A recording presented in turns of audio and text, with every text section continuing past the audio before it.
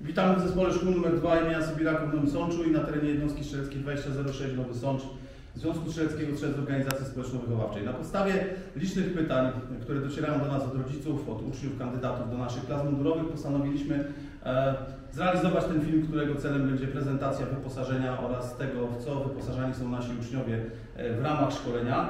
E, Przede wszystkim pierwszą najważniejszą informacją, którą chcemy przekazać jest to, że każdy uczeń, który dostanie się do naszej szkoły jest nieodpłatnie wyposażany w sorty mundurowe.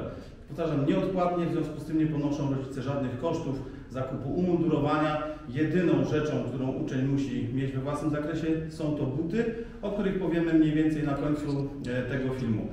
Jeżeli chodzi o pakiet wyposażenia, który jest stosowany, który uczeń otrzymuje, są to zasobniki różnego typu, do których uczeń pakuje się podczas zajęć terenowych czy do szkoły.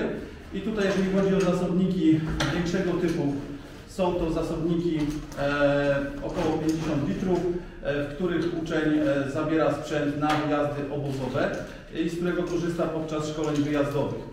Na terenie szkoły podczas dni wojskowych uczeń korzysta plecaka mniejszego, choćby tego typu. Może on być w kolorze czarnym bądź w kamuflażu, obojętnie praktycznie jakim, ale my staramy się ujednolicać, w związku z tym jest to przeważnie plecak czarny, ale również w kamuflażu, jak był pokazany zasobnik wcześniejszy. Taki plecak używany jest na jednodniowe zajęcia terenowe do szkoły podczas zajęć wojskowych. Do munduru nie wolno stosować plecaków cywilnych, więc bardzo proszę o tym pamiętać. My w te plecaki mniejsze również wyposażamy, także uczeń otrzyma taki plecak na terenie szkoły. Kolejnym elementem e, jest podstawa mundurowania.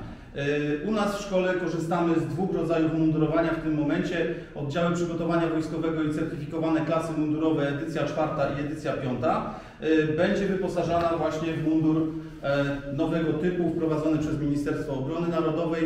Za chwilę jak pokażemy, że tak powiem na surowo, zaprezentujemy to wszystko na naszych uczniach, którzy tutaj z nami są. Taki mundur składa się ze spodni oraz z bluzy. Do tego uczeń otrzymuje komplet oprzyć, który zaprezentujemy za chwileczkę na e, uczennicy. I to jest mundur dla oddziału przygotowania wojskowego i certyfikowanych klas mundurowych. Ten mundur różni się od munduru wzór 2010 przede wszystkim kolorem, czyli jest w takiej, w takiej odmianie oliwkowej, bez kamuflażu. E, uczniowie wyposażeni są w spodnie oraz bluzę i komplet oprzyć. Jeżeli można, to bym pokazał emblemat programu, w którym uczestniczą, czyli jeżeli to jest akurat w tym przypadku certyfikowane wojskowe klasy mundurowe z programu Zostań żołnierzem, e, flaga państwowa, imiennik, oznaczenie, która klasa jest to obecnie, więc w tym przypadku klasa druga. I z drugiej strony mamy drugą flagę oraz emblemat jednostki, czyli tam, gdzie uczeń e, realizuje program i uczy się. Do tego dochodzi beret w kolorze granatowym z orłem kadeta. No i oczywiście obuwie, e, tak jak w poprzednich w następnych przypadkach jest to obuwie czarne, które, tak jak powiedziałem, uczeń e, kupuje we własnym zakresie, czarne ponad kostkę. Do tego uczeń otrzymuje normalnie polar i otrzymuje kurtkę goretexową w komplecie wyposażenia i używa ten sprzęt przez cały okres trwania nauki. Natomiast uczniowie, którzy realizują wcześniejsze edycje, bądź nie będą realizowali projektu Ministerstwa Obrony, używają umundurowanie tego typu. Jest to umundurowanie stylizowane na mundurze wzór 2010. To jest akurat e, mundur typu Texar, e, w którym mamy pewne różnice w stosunku do munduru etatowego e, w Wojsku Polskim, więc są inaczej szyte kieszenie i w innej formule on jest realizowany.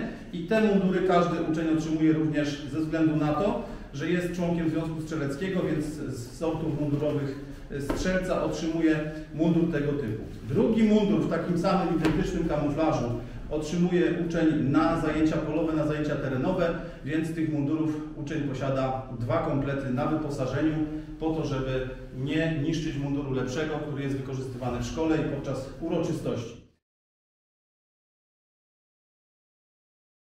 Tutaj mamy przykład strzelca właśnie w takim mundurowaniu ogólnostrzeleckim, gdzie beret e, zielony z orłem strzeleckim, który posiada S-tarczy Amazonek. Jeżeli chodzi o oznaczenia, na prawym rękawie znajduje się oznaczenie stopnia strzeleckiego, czyli tutaj mamy kolegę, który ma stopień starszy strzelec. E, Flaga państwowa z eską, która jest w innym rozmiarze i w innym wzorze niż ten, który jest zastrzeżony dla żołnierzy Wojska Polskiego. Z drugiej strony natomiast znajduje się emblemat jednostki, łuczek tak zwany z napisem strzelec, czyli informacja z jakiej jednostki strzeleckiej pochodzi ten strzelec, żeby można było również zidentyfikować sytuacje, w których mundur noszony jest w sposób nienależyty, co jest u nas bardzo ważne. Natomiast na froncie oznaka e, imienna, wiemy z kim rozmawiamy, bluza, spodnie, no i buty. I na tych butach się chwilę skoncentruję. Tak jak powiedziałem, obuwie uczeń zapewnia sobie we własnym zakresie. Buty muszą być w kolorze czarnym i być ponad kostkę. Są różne modele obuwia, zawsze się nas pytacie, jakie te buty należy zakupić. W zeszłym roku, ponieważ współpracujemy z wieloma firmami, które y, mogą zaprezentować to obuwie na terenie szkoły, klasy pierwsze miały możliwość obejrzenia, przymierzenia i zakupienia tego obuwia poprzez szkołę. Dzięki temu można było uzyskać niższą cenę, dlatego prosimy też kontaktować się z nami, żeby nie przepłacać za buty więcej niż faktycznie one są e, warte, ponieważ z tymi cenami bardzo różnie bywa na rynku, ale buty muszą być czarne, muszą być ponad kostkę i to, o co apelujemy, to jest rozchodzenie butów przed rozpoczęciem nauki i przed pierwszym wyjazdem na obóz szkoleniowy.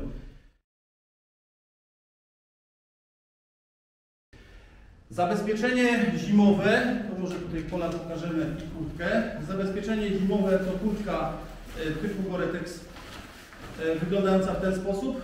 Do tego stosowany jako ocieplacz jest polar. No i polar wykorzystywany jest również wtedy, kiedy warunki pogodowe są na tyle sprzyjające, że nie ma opadu atmosferycznego, tylko w ramach poprawy termiki używamy polaru właśnie tego rodzaju. Każdy uczeń również ten sprzęt otrzymuje na wyposażenie do domu. Tutaj mówimy na razie ten sprzęt, który otrzymuje uczeń do domu, ma to na wyposażenie. Dodatkowo czapka z daszkiem wykorzystywana podczas zajęć y, poza powiedzmy terenem, w którym używamy beretów. Używamy dwóch rodzajów beretów.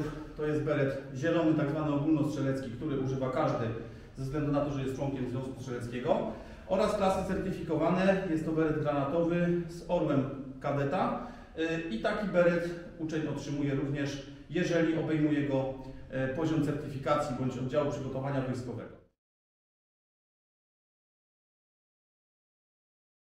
W ramach struktury jednostki funkcjonuje kompania reprezentacyjna, która jest naszą dumą, klubą.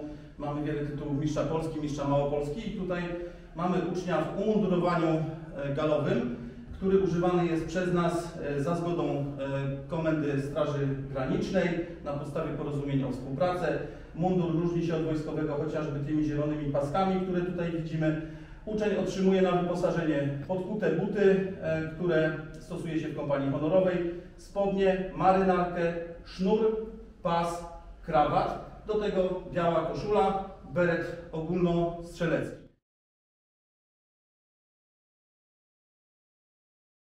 Podczas uroczystości e, wyższej rangi oraz w sytuacjach, kiedy sytuacja wymaga e, użycia przez nas dodatkowego umundurowania właśnie w takiej postaci, uczeń otrzymuje dodatkowo pelerynę podhalańską oraz kapelusz podhalański z orłem strzeleckim i w tym wyposażeniu realizujemy, tak jak powiedziałem, te najbardziej szczególne wyjazdy, uroczystości, tak jak chociażby udział w 75. rocznicy bitwy o Monte Cassino, gdzie nasi uczniowie reprezentowali Polskę.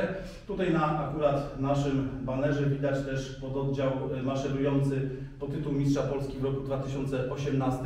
E, to zdjęcie akurat jest z tamtego okresu i wtedy wszyscy ci uczniowie, którzy reprezentują szkołę, e, z podkreśleniem regionu, z którego pochodzimy, używają właśnie ubioru podhalańskiego. Jest to bardzo malowniczy strój, który podkreśla E, również rangę szkoły, bo jesteśmy z tego znani, że właśnie synowie Janusików e, występują w tego typu umundurowaniu.